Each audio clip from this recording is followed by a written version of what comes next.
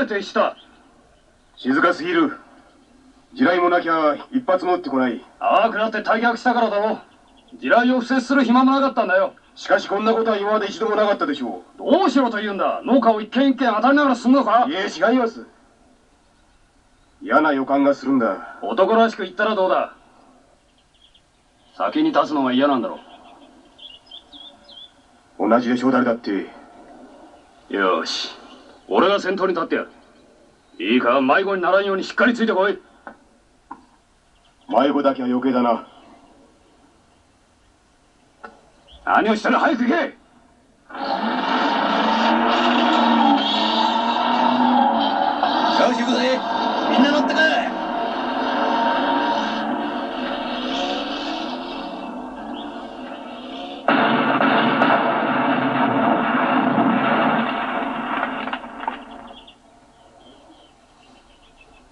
クレムス戻った車を前に出せ。はい。地雷に触れたんですかね。対戦車風だ。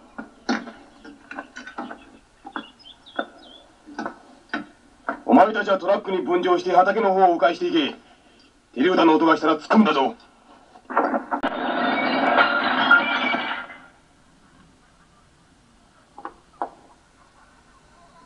どうしたどういうつもりだハートマン練習ですよ少佐びっくりしましたが。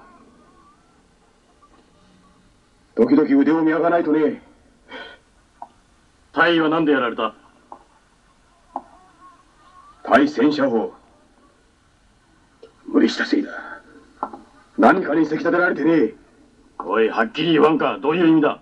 まるで注意力をなくしたんですよ。疲れてるのは全員だ。大尉一人じゃないいつもは用心深かったのに。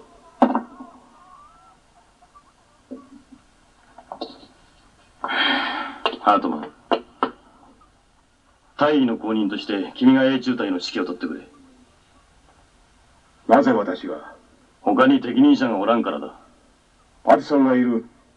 いや若すぎる。ハートマン。聞いてくれ。大尉のことだ答えたのはわかる。長い間共に戦った戦友の死は何回経験してもたまらん。ましてコルト大尉と君は階級を度外視しての友人だった。だが私もだ。甘えな。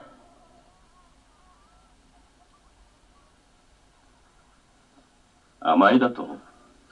注意。どういうことだ？説明してみろ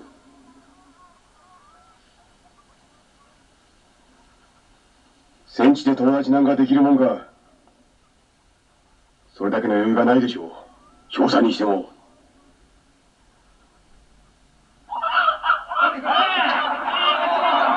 急げ。はい。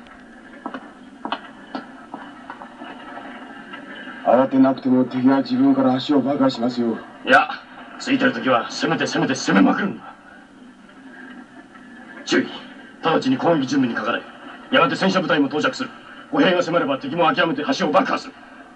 そして爆破が早まれば捕虜の数が増えるというわけだ。頼む手柄を立てさせてくれ。君にも必ず勲章をもらってやる。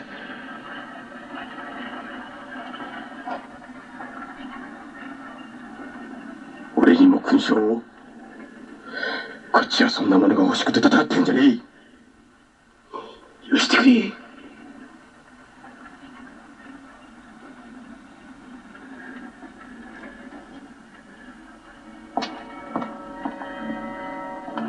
やられたら行こうぜ